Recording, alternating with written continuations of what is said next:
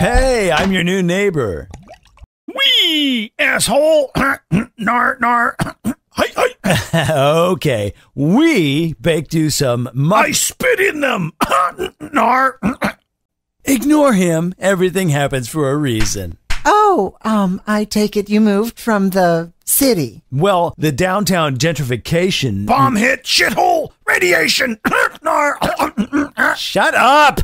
Like I said, everything happens for a reason. Uh, would you like to come in? Thank you, Judith and Ed. Uh, children, this is very. Suck it. Nar. Barf. Hi, hi. That is such bullshit.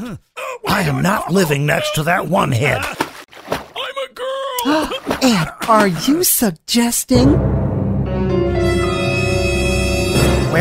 It's just the one we can't stand. He'll still live with one functional head, right? Mm, mm. Level up, Dad. I like it. All right, then. Let's do this. Suck! Poop! William Shatner! Owned. Troy, what does pwned mean? So glad we got rid of Professor Cliche Tard. Well, I guess everything does happen for a reason.